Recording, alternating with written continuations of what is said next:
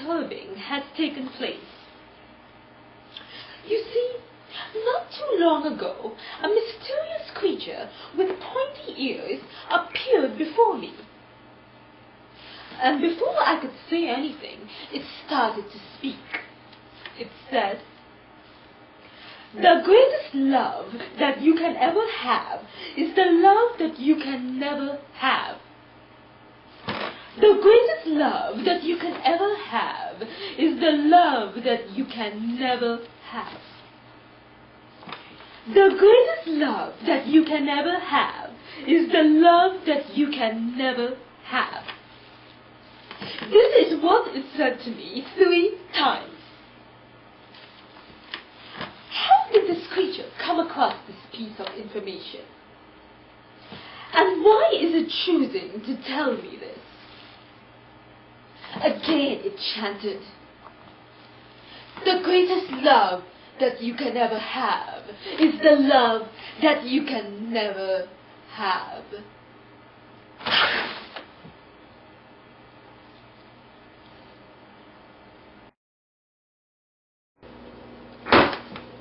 Who gives this creature the right to speak? Not I. Shut up, you ugly beast. Away. The creature refused to obey me, and its chants only got louder and louder. It kept chanting, The greatest love that you can never have is the love that you can never have. The greatest love that you can ever have is the love that you can never have.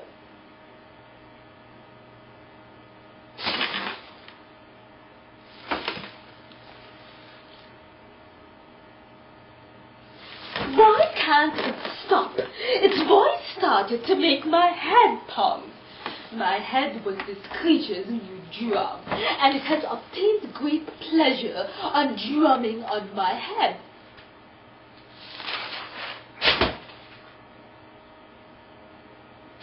Again it screamed in a mocking tone.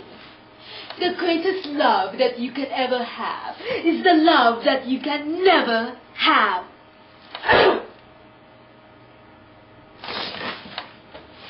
dear diary, I know you feel great pity upon me. Even I felt sorry for myself. How could this creature be so cruel to someone as innocent as I?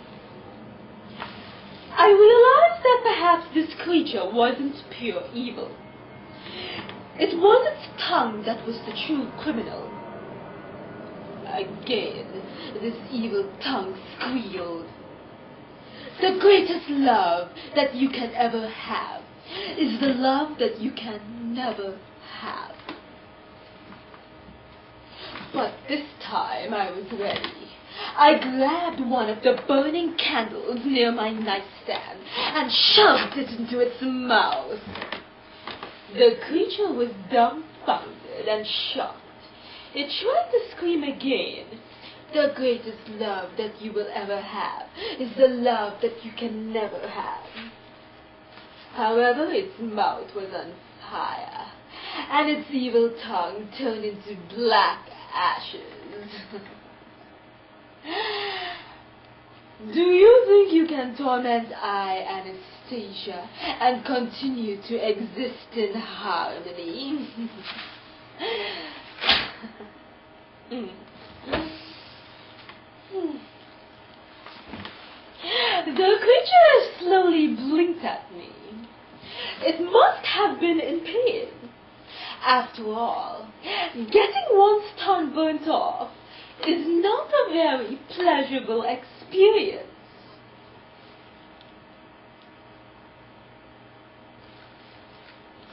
Now that the creature no longer has an evil tongue,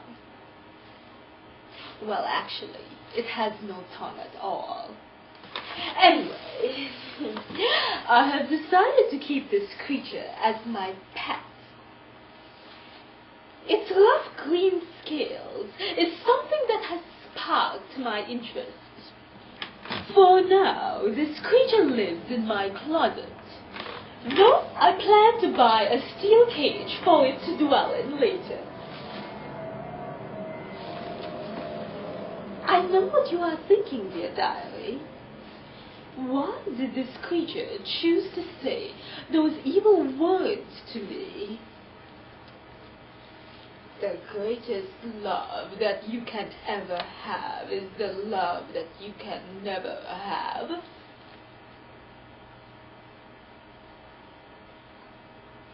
I suppose that is something that I will never know, for this creature can no longer speak to me.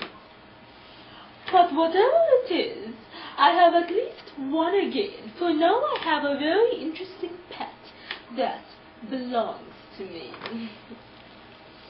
Anastasia.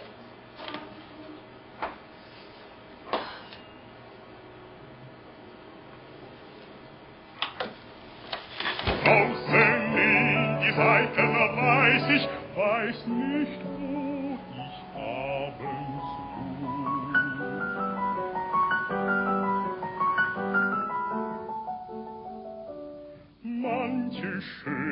macht wohl auf